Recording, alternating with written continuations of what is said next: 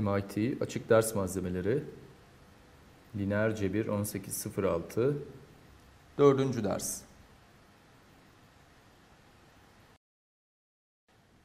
Hazır mıyız?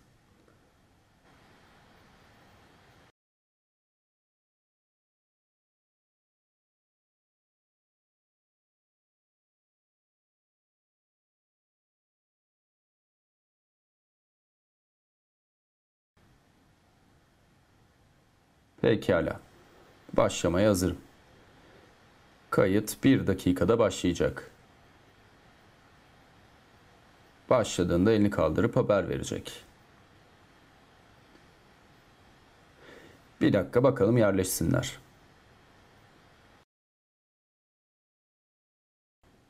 Tamam. Başlamamı istediğinizde işaret verin. Tamam. Bu doğrusal cebir dersinin dördüncüsü ve ilk yapacağım şey geçen ders için programlanmış olan bir konu ama işte şimdi yapıyorum. Bir çarpımın tersi nedir?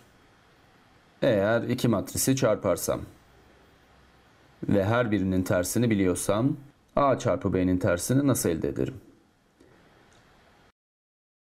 A matrisinin ve B matrisinin tersinin ne olduğunu biliyorum. Elimde AB matrisi varsa birim matrisini elde etmek için ne ile çarpmam gerekir?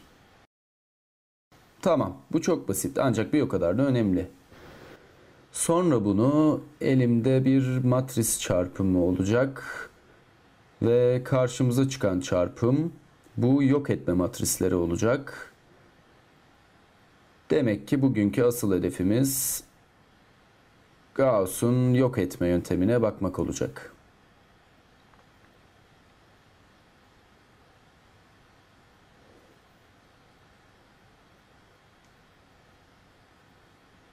A matrisinden U'ya yok etme ile geçtiğimizi biliyoruz. Gerekli tüm adımları biliyoruz. Ancak şimdi olaya doğru şekilde bakmayı öğreneceğiz. A eşittir LU. Demek ki bugünün en önemli öğretisi bu olacak. Tamam. Önce kolay kısmını alabilir miyim? Önce ilk adım. A'nın tersinin olduğunu farz edelim. Hatta A'nın da B'nin de tersi olduğunu düşünelim.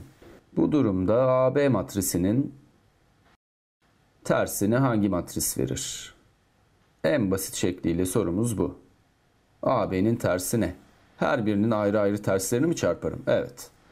A'nın tersiyle B'nin tersini çarpıyorum. İyi de hangi sırada? Ters sırada. Ve neden olduğunu görüyorsunuz. Demek ki şuraya koymanız gerekli şey B'nin tersi çarpı A'nın tersi. İşte peşinde olduğum matris tersi bu. AB ile elde ettiğimiz matrisin çarpımının birim matrisini verip vermediğini kontrol edebiliriz. Şimdi niye tekrarlayalım. Parantezlerin yerini değiştirme hakkımı kullanabilirim. Basitçe hepsini silebilirim. Ve istediğim şekilde çarpabilirim. Bakalım ilk yapmamız gerekli doğru çarpım hangisi? B çarpı B'nin tersi. Bu çarpım bize birim matrisi I'yi verir. Sonra A çarpı birim matrisi A'dır. Ve sonunda A çarpı A'nın tersi bize birim matrisi verir. Kitaptaki aptal örneği boş verin. Ters matris çarpımlarını niye ters yönde yaparsınız? Bu ayakkabılarınızı çıkarıp sonra çoraplarınızı çıkardıktan sonra geriye dönüşte önce çoraplarınızı giyip sonradan ayakkabılarınızı giymeye benzer. Özür dilerim bu kayıtta. Ve tabii ki diğer tarafı da kontrol etmemiz gerekir. Diğer yanda elimde B'nin tersi var ve A'nın tersi. Bu şimdi A, B ile çarpılıyor ve bu kez de bu adamlar birim matrisini veriyor. Bunları şuraya sıkıştıralım. Bunlar da birim matrisini veriyor. Tam da istediğimiz gibi. İyi.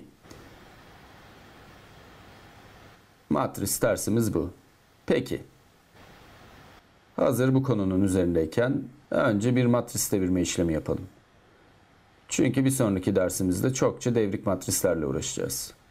Peki şimdi eğer bir matrisi devriklersem, kare ve ters alınabilir matrislerden söz ediyorum. Bunu devriklersem tersi ne olur?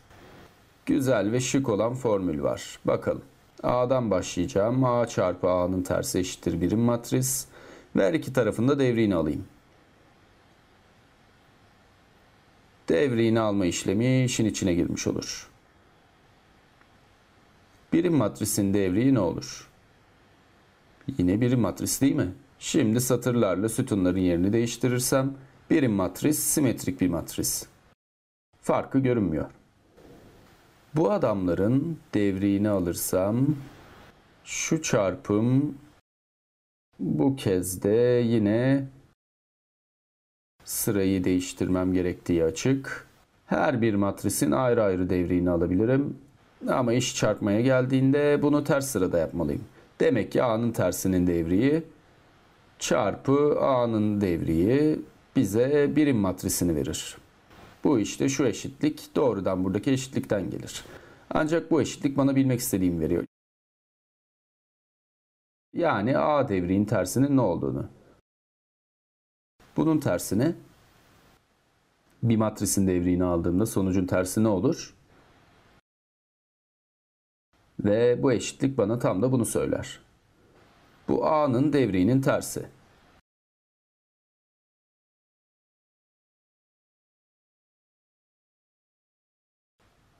A devriğinin.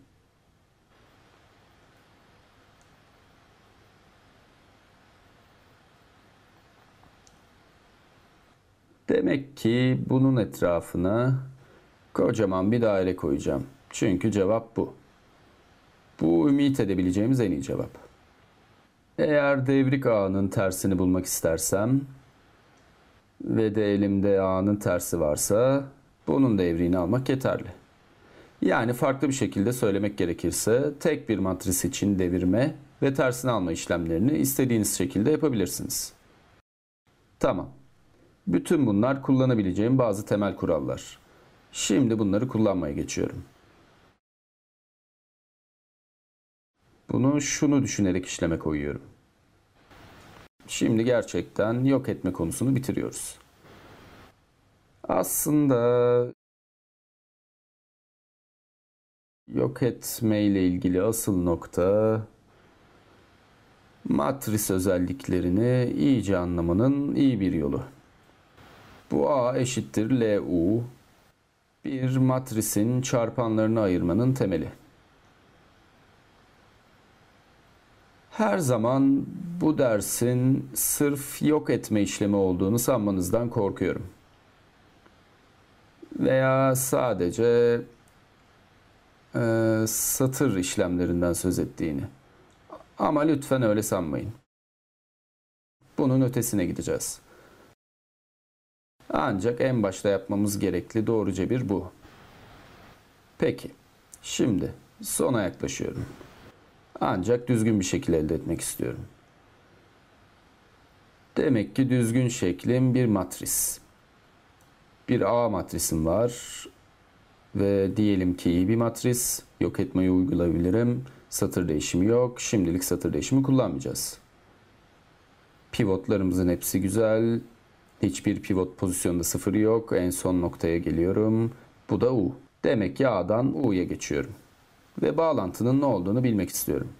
A, U ile ne şekilde ilintili? Ve bu da bana bu ikisini ilişkilendiren bir L matrisi olduğunu söyleyecek. Tamam. Bunu önce 2'ye 2'lik bir matris için yapabilir miyim? Peki. 2'ye 2'de yok etme işlemi. Tamam bunu şu aşağıda yapacağım. Tamam. Matrisim A olsun. Basit tutacağım. Diyelim ki 2, 8 dolayısıyla ilk pivotun 2 olduğunu biliyoruz. Ve çarpan 4 olacak. Ve sonra buraya bir 1 koyayım ve şuraya hangi sayıyı koymalıyım? 4. Burada 4 olmasını istemiyorum. Çünkü bu durumda ikinci pivot, ikinci bir pivotumuz olmayacak. Matris tekil olacak. Çöktük. Pekala. Hadi başka bir sayı koyayım. Örneğin 7. Tamam. Pekala. Şimdi bu matris üzerinde elementer matrisimle işlem yapmak istiyorum. Elementer matris ne? Doğrusunu söylemek gerekirse bu E2 1 olur. Çünkü bu arkadaş şu pozisyonda 0 üretecek. Ve tek işlemde U'yu yaratmış olacak. Çünkü 2 ikilik bir matris. Demek ki 2 ve 1 ve bunlardan 4 tanesini şunlardan çıkaracağım. Şu 0 elde edeceğim ve şurada 3 olacak. Bu bizim U'muz. Ve bunu yaratan matris hangisi? Hızlıca gözden geçirelim.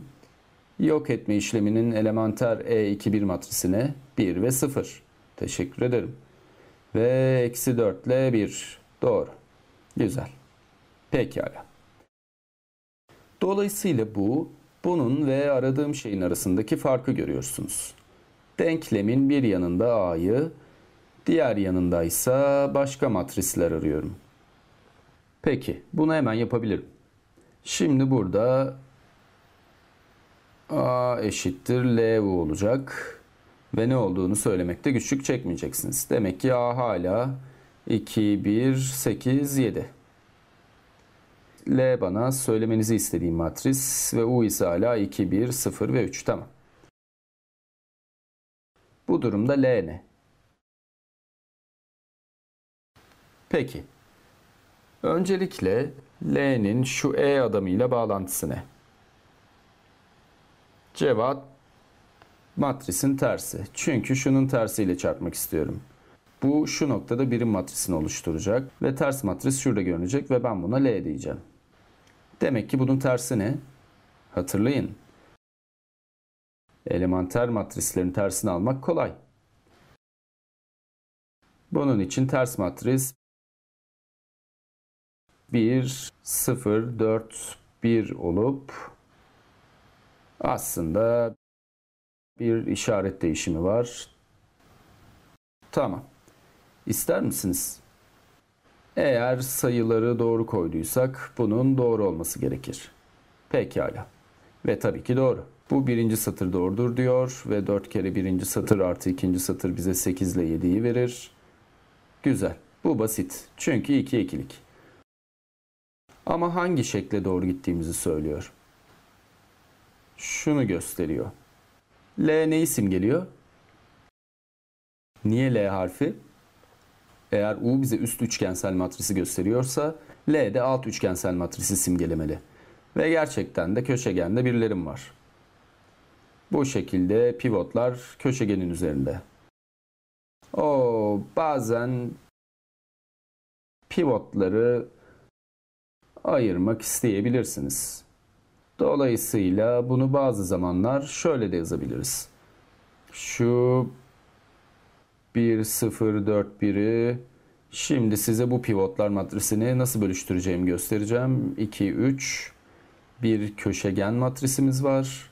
Ve ben sadece tüm kalanlar şuradalar. Kalanlar neler? 2'yi çıkarmak için bu satırı 2'ye bölersem 1 ve 1 bölü 2 elde ederim. Ve ikinci satırı 3 ile bölersem burada bir birim olur. Demek ki bu eğer bu LU ise buna da LD diyebiliriz veya pivot U. Ve şimdi biraz daha dengeli çünkü köşegende birlerimiz var. Şurada ve burada. Ve ortada da köşegen matrisimiz. Dolayısıyla bunların ikisi de MATLAB ikisinden herhangi birini üretir. Ben LU ile devam edeceğim. Tamam mı? Şimdi iki ikilikten daha büyüklerini düşünmem gerek. Ama şimdiye kadar yaptığımız kolay gibi görünmüyor. Ve gerçeği söylemek gerekirse bu bir eksi işareti. Şu da artı işaretiydi. Demek istediğim tek fark bu. Ama 3'e üçlüklerde daha büyük bir fark var. Size nasıl işlediğini göstereyim. 3'e 3'lüklerle devam edelim. Diyelim ki bir A matrisi 3'e 3'lük olduğunu düşünelim. Şimdilik sayı yazmayacağım. Yapmam gerekli olan ilk yok etme işlemi ne? İlk çarpacağım matris. Bunun için ne harf kullanayım? Bu E 2 1 olacak. Çünkü ilk adım şu 2 1 pozisyonunda bir 0 elde etmek olacak. Ve sonraki adımda 3-1 pozisyonunda bir 0 elde etmek olacak ve son adımda 3-2 pozisyonunda bir 0 elde etmek olacak. Yok etme işlemi bu. Ve bu da bize U'yu üretti. Ve gördüğünüz gibi hiç satır değişimi kullanmadım. Şimdi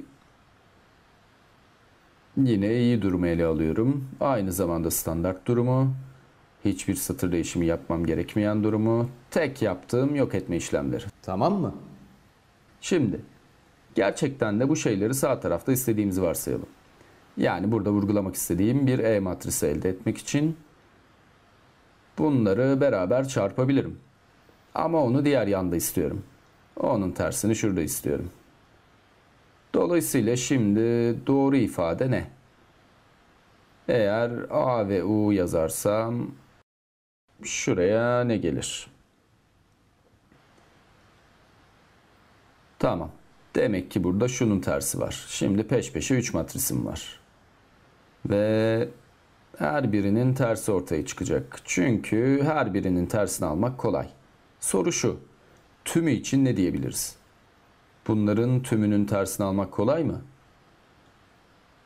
Asıl şimdi artık yapmayı bildiğimiz bu. Matris tersini almayı biliyoruz. Matrislerin teker teker terslerini alacağız. Ancak ters sırada olacaklar. Demek ki buraya ne geliyor? E32'nin tersi. Tamam. Çünkü soldan E32'nin tersiyle çarpacağım ve sonra bunu U'nun yanına koyacağım. Ve sonra da E31'in tersi gelecek. Ve tek kalan şu arkadaş olacak. O da E21 tersiyle işlem yaptığımda gidecek. Demek ki şurada L var. Ve bu da LU. L terslerin çarpımı. Şimdi hala benim için ne yapmaya çalışıyor bu adam diye düşünebilirsiniz. Anlatmaya çalışayım. Niye bu çarpımın diğerinden daha iyi olduğunu anlatmaya çalışayım. Bu çarpım diğerinden daha iyi. Standart bir örnek vereyim. Ee, standart bir örnek vereyim. Şunu yapayım. Farklı görebilmeniz için 3 çarpı 3'lük bir matris almalıyım. 2 çarpı 2'lerde sadece tek E gerekiyor. Orada problem yok. Şimdi diğer durumu inceleyelim. Diyelim ki E2 1 matrislerim E2 1 matrisinde şurada bir eksi 2'nin olduğunu varsayalım. Varsayalım ki o E3 1'in bir birim matris bile olduğunu düşünebilirim. Şimdi söylemek istediğimi bunlardan birkaçıyla göstermeye çalışacağım. Tamam. Şimdi bu adamın bir şey yapalım. Eksi 5 1 varsayalım. Tamam. Bu standart durum. E3 1'e ihtiyacı olmayan standart durum. Belki de bu 3-1 pozisyonumuzda hali hazırda sıfırımız var. Tamam. Bakalım bu bana göstermek istediğimi gösterebilmek için yeterli olacak mı? Şu çarpımı yapalım. Tamam. Eğer şu çarpımı yaparsam bu iki matris çarpmak iyi bir şeymiş gibi görünüyor. Söyleyin bakalım. Bu iki matrisi çarptığımda köşegenin üstünde ne var? Yalnızca sıfırlar. Bu çarpımı yaptığımda köşegende birler ve üst bölümde de sıfırlar olacak. Çünkü bu ne diyor? Bu satırları daha altta kalan satırlardan çıkardığımı söylüyor. Dolayısıyla Gauss Jordan'da olduğu gibi hiçbir şey yukarıya doğru hareket etmiyor. Tamam. Şimdi Aslında şimdi yapmam gerekli olan şu eksi 2, 1 ve 0'ı kontrol etmek. Şimdi bu, bu hangi sayı? Bu aklımda olan sayı. 10 sayısı. Ve bu buraya ne gidiyor? Sütun 2'ye karşı satır 3. Bu eksi 5'e benziyor.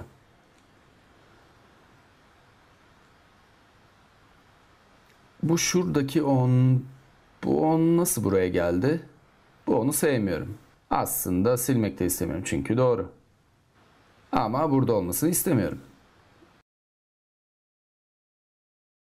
Bu 10 buraya geldi. Çünkü birinci satırın iki mislini ikinci satırdan çıkarttım.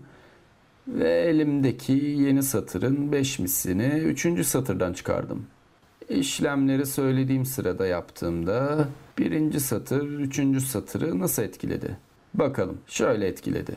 Çünkü satır 1'in 2 misli ikinci satırdan çıkarıldı ve sonucun 5 misli de satır 3'ten çıkarıldı.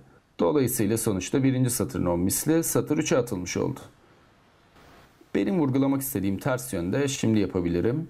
Bunun altında tersleri hesaplayacağım.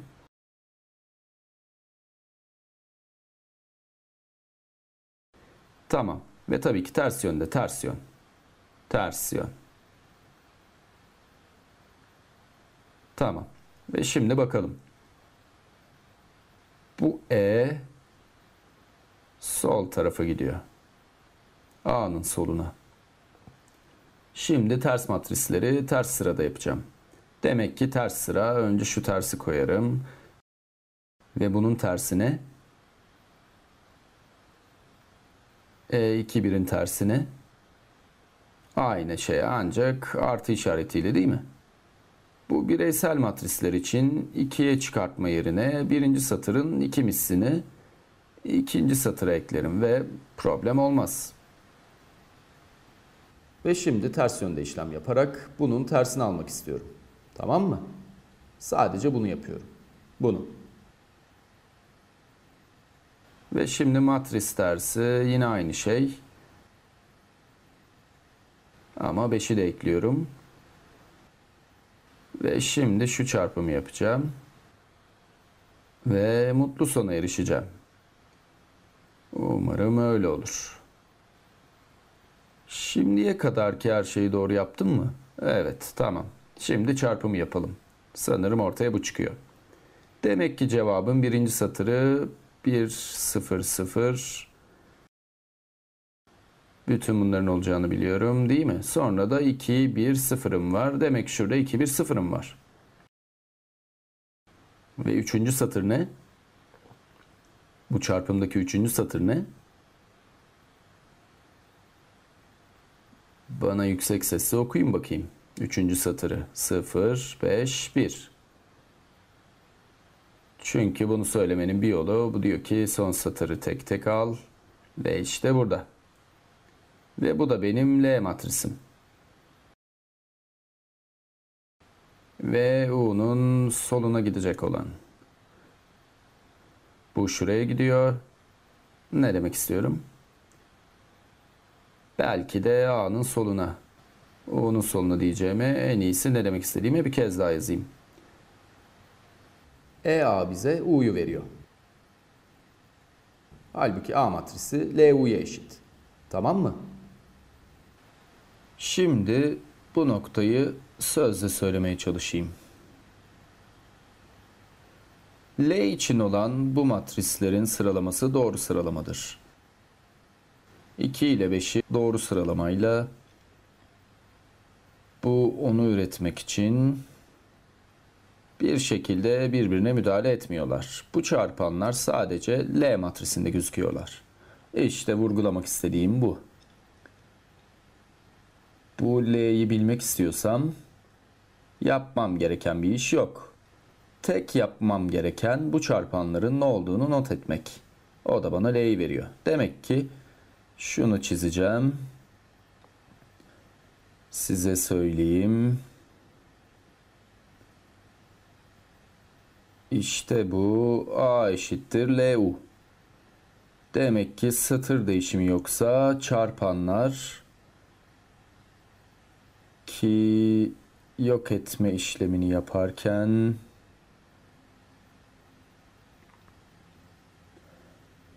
satırları çarpmak ve çıkartmak için kullandığımız bu sayılar, bu çarpanlar doğrudan L matrisine gidiyor.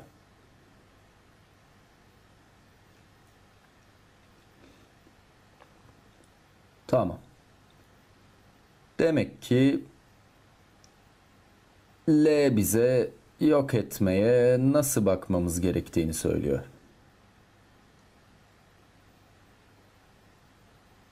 Yok etme işleminin sırasıyla adımlarını tamamlıyorsunuz. Ve doğru yaparsanız o zaman L U'yu yarattıkça artık A'yı atabilirsiniz. Şimdi yapılanı düşünürsek yok etmenin adımlarını A'nın ikinci satırıyla işiniz bittiğinde U'nun yeni bir satırını üretmiş oluyoruz. Bunu kayıt altına almamız gerekiyor ve kullandığınız çarpanları oluştururken bunları da kaydetmeniz gerekiyor. Sonra A'yı unutabilirsiniz. Çünkü artık her şey L'de ve U'da var. Bu şunu gösteriyor. Belki de şu an yok etme ile ilgili yeni bir görüş belirmeye başlıyor. Yok etmeyi matris kullanarak yapmak. Şu böyleydi. E'lerin çarpımı E'lerin çarpımının ne olduğunu göremiyoruz. Bu E matrisi özellikle çekici olan bir matris değil. Güzel olan bunları diğer tarafa koyduğumuzda oluyor. Ters sırada terslerini koyduğumuzda bu L tam doğru bir şekilde ortaya çıkıyor. Tamam. Şimdi aman Allah'ım bugün oldukça uygulamalı işlerle uğraşıyoruz. Şimdi hep birlikte yok etmenin ne kadar pahalı olduğunu düşünebilir miyiz? Kaç tane işlem yaptığımızı. Bu şimdi bir bakıma yeni bir konu. Daha önce listelememiş olduğum programımda olan ancak şimdi sırası geldi.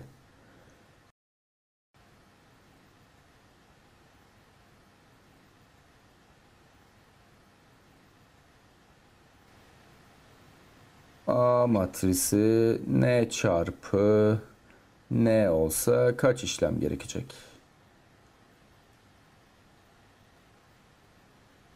Bu çok kullanışlı bir soru.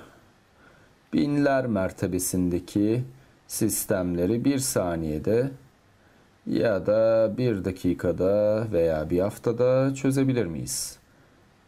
1 milyon mertebesindeki sistemleri bir saniyede, bir saatte yoksa bir haftada mı çözeriz? Demek istediğim n çarpı n dediğimizde n'yi daha büyük almak istiyoruz. Demek istediğim daha çok bilgi koymak istiyoruz.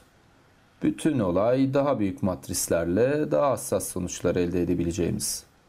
Ancak bu aynı zamanda daha pahalı olacak. Ama ne kadar daha pahalı? 100 boyutunda matrislerim olabilir. Diyelim ki yüze yüzlük matrislerim var. N'yi 100 olarak alayım. N eşittir 100 diyelim. Kaç adım yapmamız gerekir? Kaç tane işlem yapıyoruz? Ve tabii ki hiç sıfır olmadığını düşünelim. Çünkü matriste doğru yerlerde bir sürü sıfır varsa bu durumda o işlemleri yapmak zorunda olmayız. Ve her şey daha hızlı olur. Ancak şimdi bir an için birinci adımı düşünelim. İşte şurada 100 çarpı 100'lük bir A matrisimiz var ve ilk adım şu olacak. Sütunun şuralarda sıfırları var. Dolayısıyla boyut 99'a 99 oldu değil mi? Bu tam da yok etmenin ilk aşaması gibi.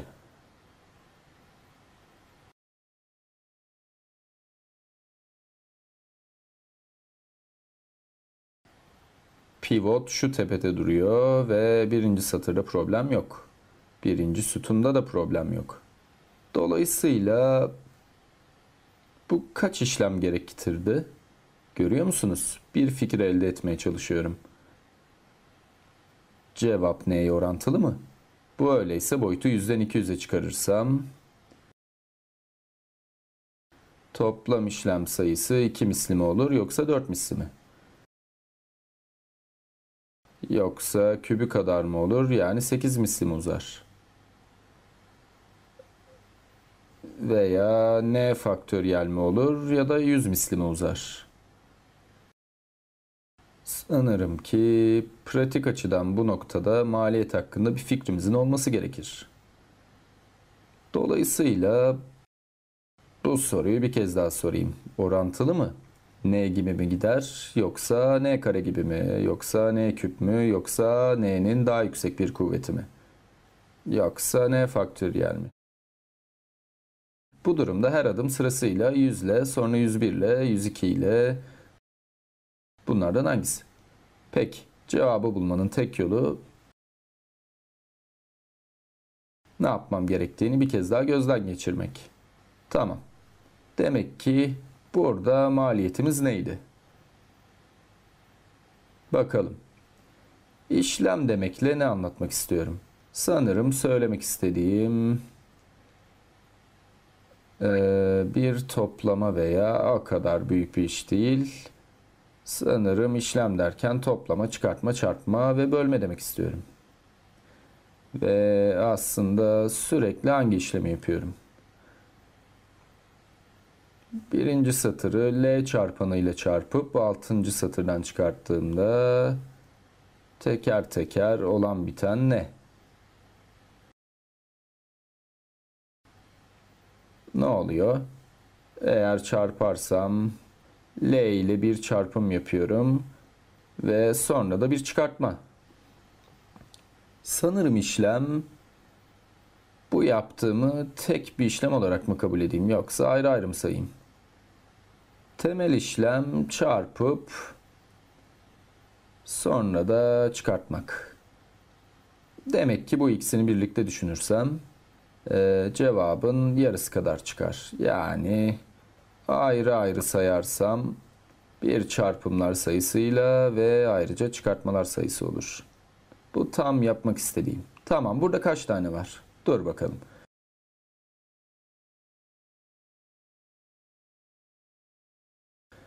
Aşağı yukarı kabaca kaç tane?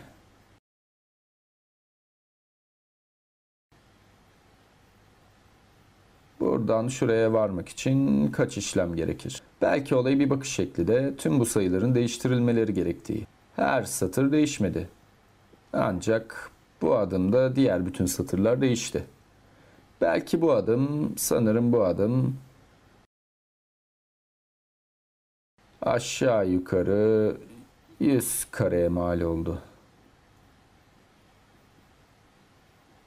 Demek istediğim eğer birinci satırda değiştirseydim tam 100 kare olacaktı. Çünkü çünkü bu burada kaç tane sayının olduğudur.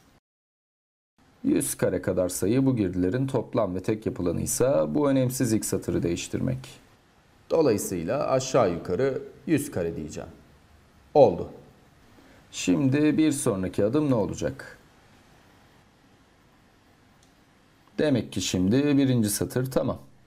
İkinci satır da tamam. Ve bütün bu sıfırlar da tamam. Şimdi ikinci adım ne oluyor? Ve sonra takip edebiliyor musunuz? Kabaca maliyet ne? Eğer bu ilk adım bize yaklaşık olarak 100 kareye mal olduysa o zaman bu birinin yani bu vatandaşın şunu üretmek için üzerinde çalıştığı yaklaşık maliyeti ne olur? Düzeltmek için kaç tane işlem gerekiyor? Kabaca 99 kare veya 99 çarpı 98 tane. Önemli olan giderek daha az olduğu. Daha az çünkü problemimiz küçülüyor. Yaklaşık 99 kare. Ve sonra aşağıya doğru gidiyorum ve bir sonraki 98 kare olacak ve sonraki 97 kare ve en sonunda 1 kareye kadar düşüyorum. Buradaki küçük sayılar gibi. Büyük sayılar şurada. Demek ki işlem sayısı aşağı yukarı n kare artı bu neydi değil mi? n 100'e eşitti. İlk adım için n kare, sonra n eksi 1'in karesi, sonra n eksi 2'nin karesi ve sonunda 3'ün karesi. Ve 2'nin karesi ve hatta 1'in karesi. Bunu yazabilmenin yolu yok. Şunu sıkıştırmanın. Yapmaya çalışayım. Dolayısıyla toplam sayı n kare artı n eksi 1 kare artı ta ki 1 kareye kadar. Bu oldukça düzgün bir sayma şekli. Kabul etmek gerekir ki en ufak işlemlere kadar inmedik. Ama buradaki öncül terimi aldık.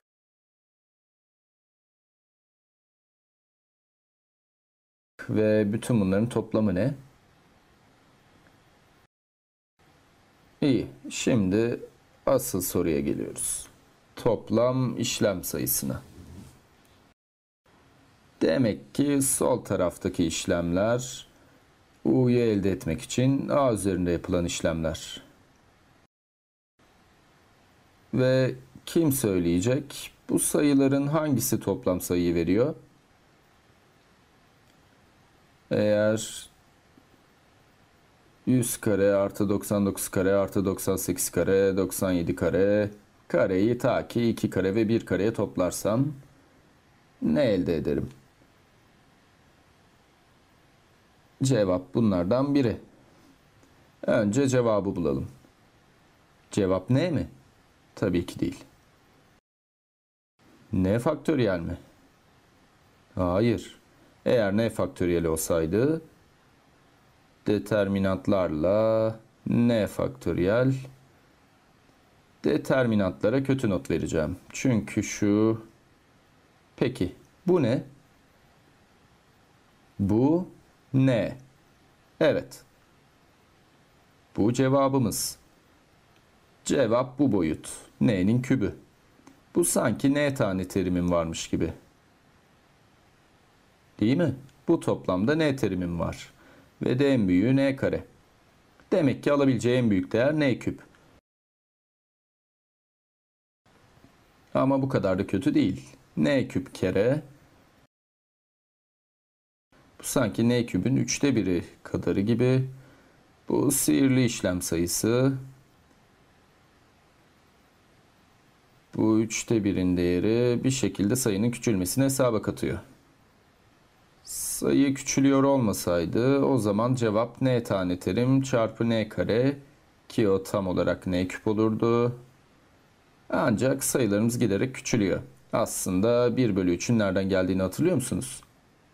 Kalkülüsten söz etmenize bile izin vereceğim.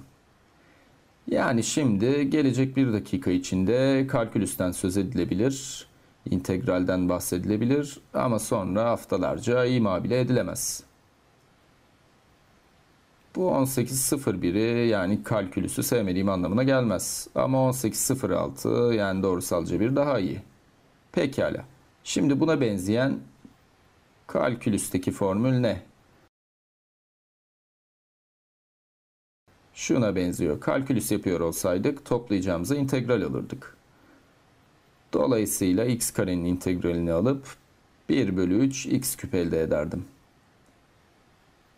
Demek ki eğer bu birden n'ye kadar bir integral olsaydı n karede n'nin integrali 1 bölü 3 n küpse bu toplam için de aynı cevap geçerli. Zaten kalkülüsün temeli de bu. Hepsini tekrarlamak istemiyorum. Demek istediğim kalkülüsün temel anlamını biliyorsunuz. Kalkülüs toplama işlemi gibi. Ancak sürekli olan bir toplama. Halbuki cebir kesikli. Tamam. Demek ki sonuç 1 bölü 3 n küp. Şimdi bir dakika. İşlemler hakkında bir şey daha söyleyeyim. Sağ taraf için ne diyebiliriz? Bu sol tarafın maliyetini verdi. Bu A'nın üzerinde. Çünkü bu A'nın üzerinde çalışıyoruz. Şurada sağ tarafta duran B sütun vektörü üzerindeki maliyet ne? Demek ki B'nin maliyeti daha az. Bu çok açık. Çünkü sadece tek sütun. Tüm yok etme boyunca taşıyoruz ve sonra da tersine yerine koyma uyguluyoruz. Cevabı size hemen söyleyeyim. Cevap n kare. Demek ki her sağ taraf için maliyet n kare. Durun bakalım. Bunu şuraya yerleştireceğim.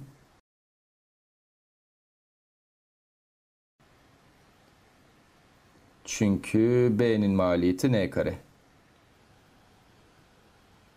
Demek ki eğer bir A matrisimiz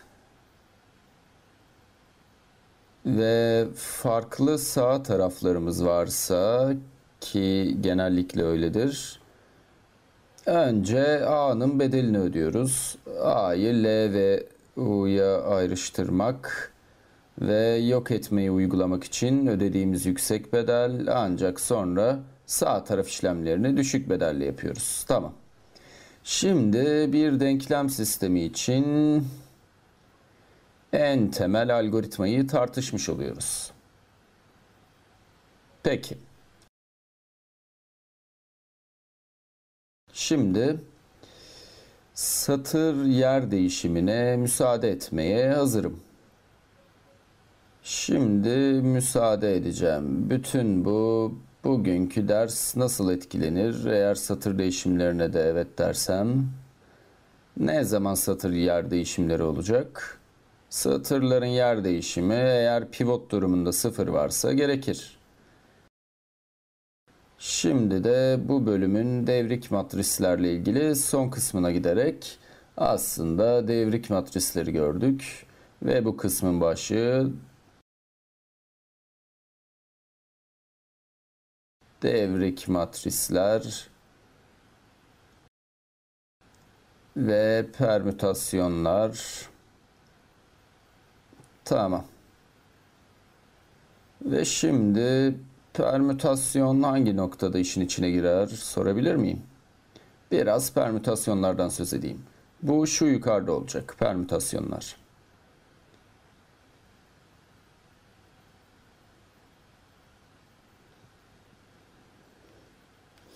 Bu matrisler satır yer değişimini uygulayan gerekli matrisler. Ve belki de iki yer değişimi yapmam gerekecek. İki tane satır değişimi uygulayıp doğru matrisi elde edeceğim bir örnek oluşturabilir misiniz? Evet, hadi bakalım. Zevk için onu şuraya koyacağım. 3'e 3'lük matrisleri ele alayım. Tüm 3'e 3'lük permütasyon matrislerini listelersem iyi olacak. E işte şurada onlardan güzel bir grup. Hiç satır yer değişimi gerektirmeyen matrisler hangileri? Birim matrisi ekleyeceğim. Bu hiçbir şey yapmayan bir permütasyon matrisi. Peki şimdi şu değişimi yapan permütasyon matrisi hangisi? P12 nedir? Birinci ve ikinci satırın yerini değiştiren permütasyon matrisi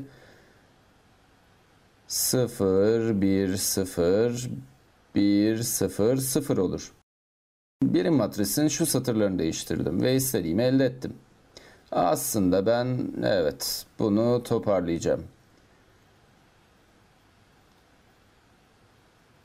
Tamam.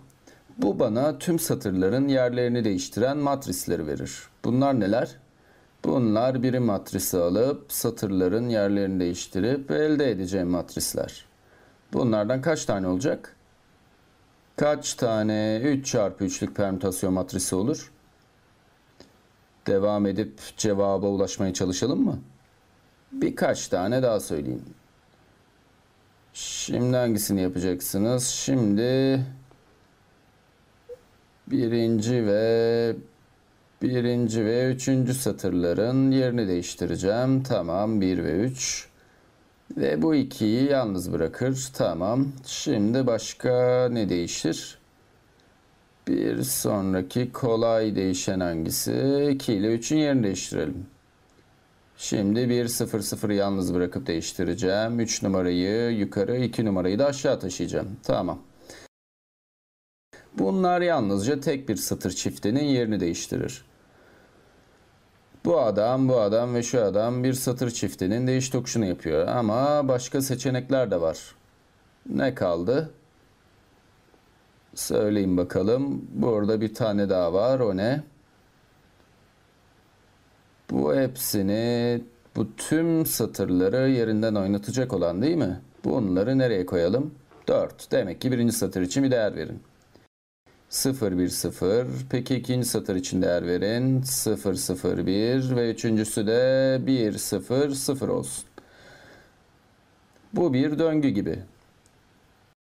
Bu ikinci satır birinci satırın yerine taşınıyor. Üçüncü satır ikinin yerine geçiyor ve birinci satır üçün yerine geçiyor. Ve bir tane daha var bakalım. Bakalım ne ne kaldı? Kayboldum. Ha, 0 0 1 tamam. 1 0 0 tamam. 0 1 0 tamam. Harika. 6. 6 tane. 6P. Hepsi de güzel. Niye? Çünkü ikisini birbiriyle çarparsam ne olur? Bu matrislerden ikisini çarparsam sonuç hakkında bana ne diyebilirsiniz? Bu listede duruyor. Eğer önce bir dizi satır yerleşimleri yaparsam, sonra birkaç tane daha, sonra sonuçta satırlara yer değişimleri uygulamış oldum. Demek ki eğer çarparsam ama bilemiyorum ve tersini alırsam bir kez başa dönmek için satır yeri değişimi uygulamış olurum. Tüm matris terslerimiz burada. Küçük bir matris ailesi. Bunları çarparsam sonuç aynı matris ailesinin içinde kalır. Matris terslerini de alsam yine grubun içinde kalırım. Aslında grup kelimesi bu konu için doğru sözcük. Bu altı matrislik bir grup ve tersleri için ne diyebilirsiniz?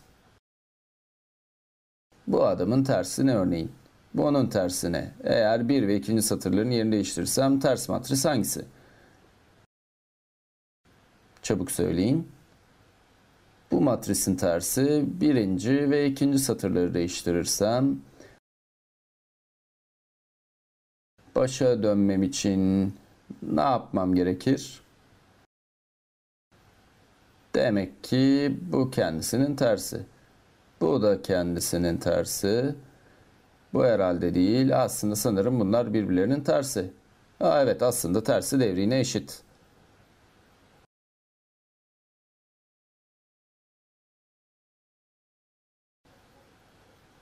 Bu permütasyon matrisleri ile ilgili ilginç bir özellik. Yani tersleri matrisin devrine eşit olması. Ve son bir şey kaç tane olur? Kaç tane 4 çarpı 4 permütasyon? Dolayısıyla 4 çarpı 4'leri ele alayım. Kaç tane P olur? Ee, pekala. İyi bir tahminde bulundum. 24 tane P. Doğru. Peki. Peki böylece elimizde bu permütasyon matrisleri var ve gelecek derste onları kullanacağız. Gelecek ders ikinci bölümü bitirip üçüncü bölüme geçeceğiz.